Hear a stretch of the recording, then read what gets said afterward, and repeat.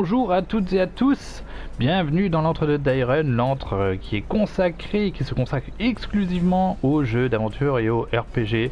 On se retrouve aujourd'hui donc pour la suite de notre euh, let's play sur euh, Neverwinter. Hein, on a atteint la ville de Pas d'hiver. La dernière fois, nous avons combattu un gros plein de soupe qui s'appelait l'Annonciateur, je crois. Nous sommes toujours avec notre petite Drow, notre petite Drow qui s'appelle Renette et que je n'arrive pas à avoir en. Ouais, non, j'arrive pas à rapprocher la caméra d'elle. C'est un peu chiant ça. Hmm. Elle est mignonne tout plein et tout, avec sa petite coupe punk. euh, Il y a un côté euh, un peu asymétrique. Enfin voilà, donc nous sommes ici et il fallait que nous allions. euh, récupérer une couronne qui a été volée, la couronne du fameux seigneur actuel de, de Pas qui s'appelle Never, Never Ember. Never Ember. J'essaie de le faire un petit peu à l'anglaise. Hein, donc la dernière fois on a fait une ou deux petites quêtes secondaires pour vous montrer en quoi ça consistait. Là on n'a plus que cette quête-ci dans notre journal, donc on va essayer de s'y consacrer entièrement.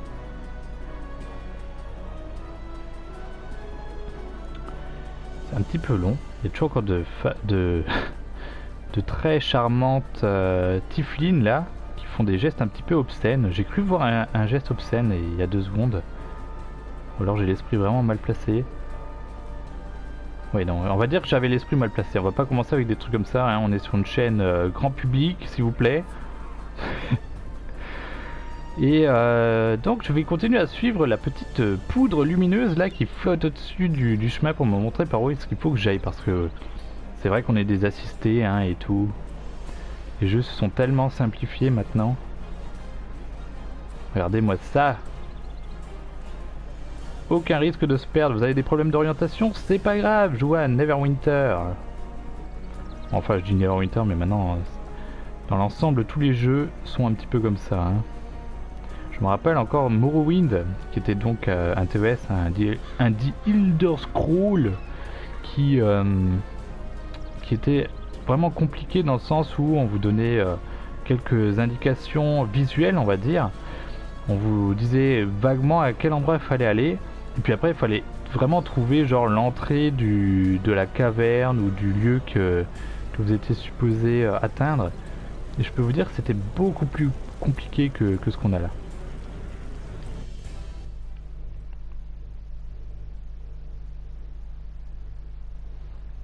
Alors qu'est-ce qu'on a par ici? Oh Une nouvelle entrée de l'encyclopédie déjà. Alors euh, on, va, on va regarder un petit peu de quoi il retourne. Les chambres fortes. En dessous de la cour de justice se trouve une série de chambres, de cryptes et de chambres de stockage où de nombreux nobles, héros et trésors de Neverwinter sont gardés. Ces chambres remontent à plusieurs centaines d'années, à l'époque où le bâtiment constituait le temple principal de la ville en l'honneur de Tyr, le dieu de la justice désormais mort. Lorsque le seigneur Neverember décida de faire de cet ancien temple le siège de son règne, il utilisa les chambres comme lieu sûr pour stocker de nombreux trésors historiques découverts lors de la reconstruction de la ville. On raconte que les chambres sont hantées et la croyance populaire raconte que les morts honorés de la ville se relèveront pour tuer tous ceux qui perturberont leur repos. Donc en gros, ça va pas être une visite euh, de courtoisie de nouveau. Les choses ne peuvent jamais être simples quand on est un aventurier. On a un petit feu de camp qui ne sert à rien là dans les médias. On va parler à ce garde. C'est vous que le sergent Knox a envoyé pour enquêter? Je suis content que vous soyez là. On a entendu des bruits étranges venant de la chambre forte. L'un des autres gardes est parti voir, mais il devrait être revenu depuis le temps.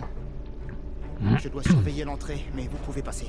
Trouvez la source de ces bruits et cherchez le quartier maître Otus. Il saura ce qui se passe. D'accord. Vous avez une super armure, vous avez l'air d'être taillé euh, dans un bloc de muscles, mais c'est la petite Dro euh, toute chétive qui doit y aller. Logique.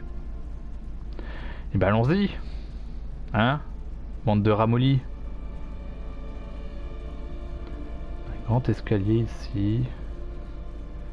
Une grande double porte. Va-t-on réussir à l'ouvrir? Oh super, une nouvelle entrée. Ouh, il y, y a des ennemis juste devant. Ah. Les Nacher sont une faction violente des fils d'Elagondar, un groupe qui s'oppose farouchement à l'hégémonie de Neverember. Ces rebelles ne jurent loyauté qu'à la cité de Neverwinter et voient Neverember comme un imposteur indigne du trône. La plupart d'entre eux sont de jeunes hommes et femmes qui ont grandi à Neverwinter à l'époque où elle était une terre de non-droit, après qu'elle ait été largement désertée. Ils ont été élevés au son des histoires de la gloire passée de la ville, mais ont toujours vécu dans l'ombre de ses ruines. Même au sein des factions rebelles, les Nachers sont parmi ceux qui emploient les méthodes les plus vicieuses. Menés par l'imposant guerrier Utgard Karzov, ils ressemblent plus à un gang qu'à un mouvement et s'attirent des conflits réguliers avec les autres factions rebelles à propos de leur façon d'agir. Ils n'ont aucun scrupule à mettre en œuvre émeutes, assassinats, vols et sabotages dans leur lutte contre Neverember quel que soit le nombre de civils innocents blessés par leurs actes. Ok, bon, je peux comprendre qu'ils soient nostalgiques de la vieille pas d'hiver. Hein. Après tout, c'est ce qui m'a mené un petit peu euh, sur, euh, sur le jeu. Mais de là à être des vilains beaux qui tuent un petit peu tout le monde, ça c'est pas cool. Donc on va leur planter des flèches dans le genou à la façon de Skyrim et puis c'est tout. Comme ça ils seront gardes ensuite et puis ils diront Moi aussi j'étais aventurier un jour. Et ensuite je me suis pris une flèche dans le genou. Vous voyez Vous comprenez la référence Ah, qu'est-ce que j'ai rigolé la fois où, euh, où que tous les gardes sur Skyrim disaient ça. Tous les gardes étaient des aventuriers qui se sont pris une flèche dans le genou. Voilà, le, le genou, c'est le talon d'Achille des gens dans, Skyrim. Un type qui est en train de fouiller un cadavre. On va s'occuper de lui. Eh, il tire des flèches aussi. Il serait temps que j'ai une compétence moi aussi pour... Euh, ah oui, c'est vrai, j'oublie chaque fois que j'ai mon mon L2 là qui, fait bien mal aussi. Donc on a vu que de ce côté-ci il n'y avait rien. Euh, est-ce que je ramasse ce truc pour le revendre ensuite bol d'ivoire? Oui allez, je le revendrai, ça me fera des sous. Je regarde juste de ce côté-ci s'il n'y a rien. Nope, parce que parfois il y a des petites choses cachées. Des petits coffres. Ou alors euh, il y a des choses qu'on ne peut ouvrir que en fonction du métier qu'on a choisi de base. Par exemple euh, sur mon main avec le voleur fourbe, euh, je peux fouiller automatiquement sans utiliser d'objets ni rien des objets qui portent la mention larcin. Donc ça va être souvent des, des coffres, des, sacs, des choses comme ça que normalement les autres classes, par exemple un magicien ou un guerrier, ne vont pas pouvoir fouiller à moins d'avoir un kit de larcin. et je crois que la, la rôdeuse, du coup, c'est euh, tout ce qui a rapport avec la nature qu'elle peut fouiller. Je veux pas dire de bêtises, et voilà, j'ai oublié de nouveau d'utiliser mon L2. Pourtant, il est super efficace. Regardez, je ai tué 3 d'un coup. Hop là. Euh, ah bah, tenez, je vais pouvoir illustrer un petit peu mon propos. Ça, normalement, c'est que pour le voleur. C'est une sorte de sac à dos. Et il faut soit la compétence euh, larcin ou alors un kit de larcin pour pouvoir l'ouvrir. Donc là, je ne peux pas. Parce que j'ai pas le kit sur moi. Pu en acheter éventuellement, mais bon. En général, je me contente d'utiliser ceux que je trouve euh, sur des, sur des cadavres. je vais essayer de pas me tromper cette fois-ci. Oh Oh là là Ils sont trois à être morts. Ah Au secours Une recrue qui m'attaque Niveau 4 J'allais dire le combat n'est pas équilibré, mais en fait si. Je vais ramasser cette épingle. Euh... J'ai bien vu qu'il y en avait un à gauche, donc cette fois-ci je m'y attends. Ah bah j'en ai qu'un. Pas cool par contre. Oh ah bah non. Le sniper là il est très résistant par contre. Allez meurs Ah l'autre là-bas il est mouru, c'est bon. Oh Oula, alors là il y a un gros décalage. Est-ce que c'est parce que je suis en train d'uploader une vidéo? J'espère que ça va aller au niveau du son. Parce que je me dis s'il y a du décalage au niveau de l'image, J'espère qu'il n'y aura pas du décalage au niveau du son, hein, parce que je suis bon à la limite pour recommencer le perso du début, pour retourner cette séquence, parce que comme c'est un MMO, forcément, si jamais... Euh, si jamais je suis obligé de retourner une séquence, ben, ce, qui ce qui a été déjà enregistré, ben, c'est foutu quoi, parce que je peux pas revenir en arrière, c'est enregistré en temps réel. Là on a un coffre, je vois aussi qu'il y a des gens là-bas. Alors voyons voir dans ce coffre, on a des kits d'exploration, ça c'est cool, et des kits de nature. Bon, les kits de nature, on n'en avait pas besoin parce que je crois que normalement le rôdeur euh, de base, il a la compétence pour ça. Et là, je trouve une rose de désert qui sert dans certains euh, dans certains métiers de craft, comme la maroquinerie, on a vu vite fait. J'ai un peu zappé vite, je suis désolé. Et ça, maintenant, je vais pouvoir aller le regarder Enfin, je vais pouvoir le fouiller grâce à un de d'exploration. Par contre, il y a 75% de chance de réussite. Donc une chance sur 4 de, forer mon coup. Et là, ça marche. peux ramasser du minerai de fer. Et je vais attaquer ces petits personnages là. Je vais essayer de m'occuper des, des trois maigrichons. Oui On a blessé en plus le gros. Hop, je recule. Et on continue. Euh, c'est bon. Il est mort. Euh, et qui des arcanes on prend. C'est pour fouiller normalement les trucs qui sont réservés aux magiciens. Euh... Est-ce qu'il y a autre chose Ça on a fouillé donc. Là il n'y a rien. Je vais juste faire le tour par là. Voir s'il n'y a pas quelque chose qui se cache. Derrière le pilier, non. Bon. Vous savez que je suis du genre à farfouiller un peu à droite à gauche. Hein. En général j'aime bien faire ça. J'aime bien trouver des petits secrets et tout et tout. Oh mais zut, je me suis complètement trompé J'ai utilisé l'esquive au lieu d'utiliser ça là. ils ont le temps de me toucher pendant que... que je charge la compétence. C'est pas cool. Ah, un coffre. On dit jamais non à un bon petit coffre. Euh, un autre kit d'exploration qu'on va prendre avec nous. J'ai vu qu'il y avait des ennemis encore là en bas combien? 2, 3 Bon, j'arriverai pas à tous les avoir là, si. Si, peut-être. Oh, joli Efficace cette petite draw. Alors Nico, il me dit euh, que normalement les draws, ils sont pas gentils. C'est vrai que les draws ne sont pas gentils, mais bon, il y a quand même le fameux Drist. Je disais, toujours Dritz avant, mais il me semble que les Z sont avant le, le T. Donc c'est une erreur de ma part. Qui est donc un elfe noir qui se bat avec deux cimetières. Je crois que c'est un rôdeur aussi, si je ne me trompe pas. Et qui est donc un personnage récurrent des Royaumes oubliés, un personnage très connu, vraiment un héros, euh, un des héros principaux qui intervient euh, dans, les, dans les Royaumes oubliés. Je me rappelle d'un jeu sur PlayStation 2 qui s'appelait Demon Stone qui est aussi basé là-dessus.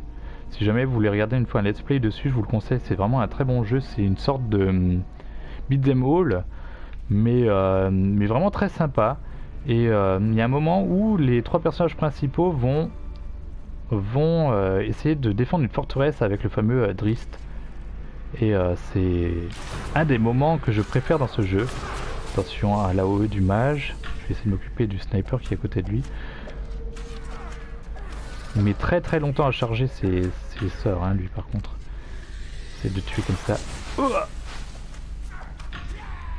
Ouais, donc il y a un moment où il faut protéger une forteresse avec euh, cet elfe noir. Et rien que la musique, je me rappelle surtout de la musique, c'est la musique qui m'a le plus marqué. Elle était vraiment excellente. Oh, je dois parler au contremaître qui est juste là. Alors attendez, je fais juste une petite fouille rapide. Là, il n'y a rien. Ici, il y a un kit de, des arcanes que je peux fouiller, du coup, comme j'avais trouvé euh, bidule tout à l'heure. Mais j'ai loupé, voilà, ok. Une chance sur 4 de le louper j'ai réussi à le louper. C'est cool. Tant pis. Euh, parchemin. Super, on a un truc à lire.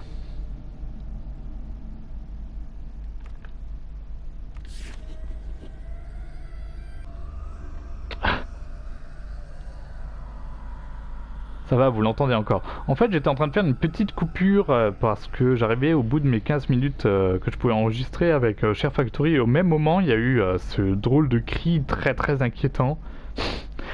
Mais euh, entre le moment où j'ai coupé et que j'ai relancé, il, était encore là, donc vous avez pu euh, l'entendre. Alors, voleur de la couronne, les ordres de Karzov. L'attaque de morts-vivants constitue une bien meilleure distraction que l'émeute que nous étions en train de planifier. Par conséquent, notre opération est maintenue. Vos ordres sont de pénétrer dans la chambre forte qui se trouve sous le temple pendant que les gardes seront occupés à combattre les morts-vivants. Une fois entrés, occupez-vous du quartier maître et forcez-le à vous révéler l'emplacement de la couronne de Neverwinter. Laissez ensuite Gotwan et Honor s'occuper du reste. N'oubliez pas, nous ne voulons que la couronne, ne touchez à rien d'autre. On pourra piller le reste une fois qu'on dirigera la ville, et nous ne voulons certainement pas risquer de mettre les morts en colère. Signé Karsov. Ok. Je vois que nous avons affaire à des voleurs très très déterminés. Il y a écrit quoi? Cette porte s'ouvre ailleurs. Uh Oui, c'est parce qu'il faut d'abord parler au contremaître ne bouge pas d'ailleurs, il est toujours là. Je vais juste voir si je peux pas ramasser autre chose. Il faut un kit de religion, je n'en ai pas. Normalement c'est le paladin, enfin le genre, ouais, le genre de paladin. C'est pas le nom qu'il porte normalement, je crois que c'est guerrier défensif ou... Ou guerrier, je sais plus quoi. Et puis ceux qui soignent, il y a des genres de prêtres. Mais euh, voilà. Je n'ai pas accès à ce genre de choses, moi. Alors, on va parler au quartier maître, hein. Les Nashers se sont introduits dans les chambres fortes pendant l'attaque de Valindra sur la ville. Ils sont venus voler la couronne de Neverwinter. Ils y sont presque parvenus. Mais ils ont ensuite mis les morts des chambres fortes inférieures en colère. Ils se battent contre eux en ce moment même. Je les ai enfermés à l'intérieur, derrière l'entrée cachée, vers les chambres fortes inférieures. Il y a un interrupteur secret dans la bibliothèque, sur le mur du fond. Arrêtez les Nashers avant qu'ils ne prennent la couronne. Ok monsieur, restez ici, je m'en occupe. Vous avez l'air bien amoché en plus. Donc je vais appuyer sur ce petit bouton qui est très bien indiqué ici. Hein. Ils auraient quand même pu nous laisser chercher un peu. Mais c'est pas grave. Au moins on va un peu plus vite dans notre vidéo. Oh, effectivement, il y a des petits... Euh, des petits voleurs qui ont eu une mauvaise surprise. Attendez, on va profiter du de la confusion pour euh, trouver quelques quelques billes pas beaux. Oh non Ils arrivent sur moi Aïe Wouhou C'est pas dans ce sens-là que j'aurais dû le faire, mais c'est pas grave. Allez. Je me rappelle que dans le jeu de base, Neverwinter, avec les règles vraiment Donjons et Dragons, euh, il fallait une compétence pour pouvoir réussir à tirer avec précision sur les ennemis lorsqu'ils étaient vraiment euh, genre au corps à corps avec nous. Là ça va, notre petite Drew arrive à, arrive à s'en sortir euh, très bien toute seule. Sans la dite compétence. Par contre je me trompe encore au niveau des boutons et ça c'est pas glop. C'est pas cool du tout. Encore une épingle, encore un bol d'ivoire. Je vais pouvoir me faire tout un service de table avec ça. Je sais pas si je vais avoir le temps de finir, je me rappelais pas qu'elle était aussi longue euh, cette euh, mini instance là. Ah, c'est bon, on arrive à la fin je crois. Mais quelle est cette femme qui reste euh, debout sur cette tombe? Oh là là, ils sont tous morts. D'un coup comme ça. Là, il y a un truc qui brille que je vais pouvoir fouiller. Je vais d'abord aller voir si cette madame a un petit peu besoin de nous. Je vais m'occuper des trois qui sont là si j'arrive. Ah, il est super résistant le soldat. Ok, d'accord, je recule un peu. Meurs Meurs Ça va, pour l'instant je ramasse encore des potions. Ah, on a secouru Sibella. Euh, alors attendez, avant de lui parler, je vais vite faire le tour. Vite fait, hein. J'essaie vraiment de faire vite. J'ai vu qu'il y avait déjà un truc qui brillait, maintenant ça se trouve derrière moi. Mais bon, il y a des fois des trucs qui sont sympas à fouiller. Une fois vous décidez de vous lancer dans le jeu, peut-être que vous découvrirez des petites choses que vous auriez loupées en regardant ce, let's play. Je l'espère en tout cas, hein, c'est quand même euh, un des objectifs aussi de, ces vidéos. Alors qu'est-ce que c'est que ça? Qui d'exploration Espérons que ça marche cette fois. Oh oui, merci. on a du minerai, des morceaux de laine et du bois de pain. Hmm. Et n'hésitez pas non plus à fouiller derrière les, gros objets, comme c'est le cas ici, parce que je peux vous assurer qu'il y a souvent des choses derrière. Winter est un jeu qui récompense euh, pas mal quand même les gens qui, qui farfouillent un peu. On peut, entrer, on peut trouver notamment des entrées pour le, le journal, pour avoir des informations un petit peu sur le background du jeu. Alors euh, forcément, il y aura que les gens qui s'intéressent vraiment à ce genre de choses qui, euh, qui trouveront un intérêt. Mais je trouve que c'est pas mal, surtout que pour ceux qui chassent les trophées un petit peu comme moi, il y a aussi un truc qui demande de, découvrir un certain nombre de d'entrées du journal. Donc il faut fouiller pour euh, les, les découvrir. Bonjour mademoiselle Ah Renette, vous êtes là. Attendez, êtes-vous déjà là? Maintenant, ici? Vous voyez? Euh, Je comprends pas très bien ce que vous voulez dire madame. Absolument. J'ai parfois du mal à savoir si je vois le présent ou l'un des possibles futurs. Je suis une devineresse, vous voyez. Dans la plupart de mes visions, c'est vous qui m'avez sauvé, même si je me suis débrouillé par moi-même dans quelques autres, et dans certaines, euh, je ne préfère ne pas en parler. Quoi qu'il en soit, vous êtes là et je suis rassuré. Outre le soulagement d'être vivante, je suis heureuse que vous m'ayez sauvée, car je suis venue à Neverwinter spécialement pour vous rencontrer. Ah bon, vous êtes venu pour me rencontrer Oui, mes visions ont montré que vous aurez un rôle crucial à jouer dans l'avenir de Neverwinter et de toute la côte des épées. Je suis venu à le fois, euh, à la fois peut-être pour vous aider et pour que vous m'aidiez, m'aidiez peut-être à accomplir ma propre quête. Vous voyez, on retombe sur le sujet que j'avais évoqué dans une précédente vidéo. Je vous avais dit que la traduction n'était pas géniale, et ben là on en a euh, la preuve. Euh, non, pas de détails, on verra ça plus tard, ou plus tôt. Je vous ai assez retardé, et vous avez autre chose à faire. Et d'ailleurs, je dois continuer mes recherches dans la bibliothèque avant que vous ne puissiez m'aider. Bon bah écoutez, je ferai de mon, de mon mieux. Au revoir madame. Oui, vous avez raison de passer par là. Normalement, c'est tout est nettoyé de ce côté-ci. Ah ouais, c'est quand même long, hein. Je, je, me rappelais pas que c'était aussi long. Je m'attendais pas à, à devoir meubler autant cette vidéo. Bon bah, c'est pas grave, hein. On va essayer de tuer un maximum de ces euh, morts vivants avec une seule flèche. Bah, lui, il est lent le temps qu'il arrive, il sera mort. Tchac. J'entends les mouches voler. Ah, je ramasse l'épingle. 1, 2, 3, je charge. Oh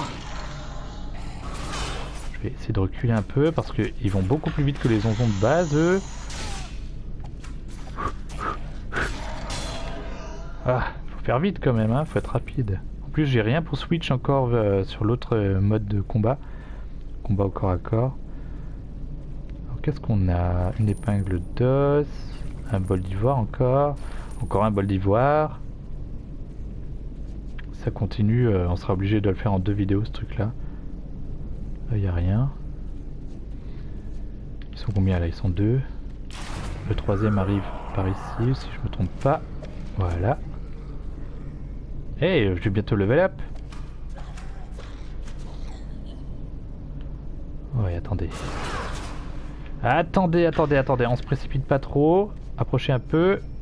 Oh Oh Oh Oh J'ai pas vu qu'il y en avait encore un à droite. Et voilà.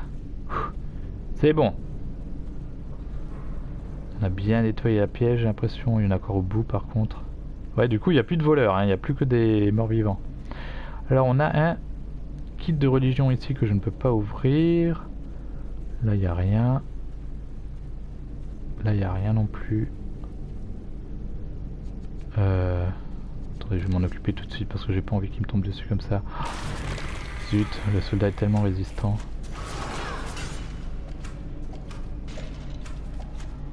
Bon, pour l'instant, on n'a pas trop de problèmes. Hein. On est quasiment full life encore. Ah Appuyez sur la touche menu, sélectionnez pouvoir, puis acheter ou réaffecter un pouvoir de rencontre.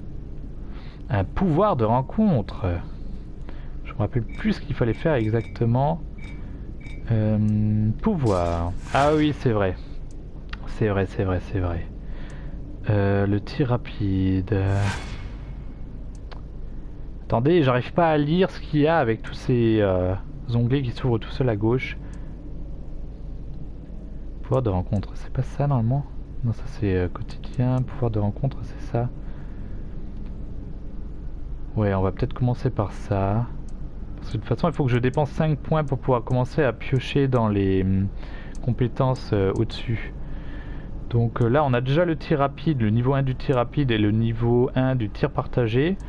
Euh, ça c'est un pouvoir quotidien, on y reviendra dans une prochaine vidéo. Et ça c'est donc du passif normalement, une aptitude de classe. Celle-ci par exemple augmente la portée des pouvoirs à distance de 3 pieds et leurs dégâts en fonction de la distance. 1% de dégâts en plus tous les 5 pieds, ok. Donc ça c'est sympa vraiment euh, pour rester à distance. Maintenant je sais pas trop si je vais m'orienter à distance ou peut-être voir euh, si je peux pas faire plutôt quelque chose euh, plus orienté corps à corps. Je connais pas du tout le, le euh, dans ce, enfin dans Neverwinter Online, donc on verra bien. Pour l'instant, je pense que l'escapade de maraudeur,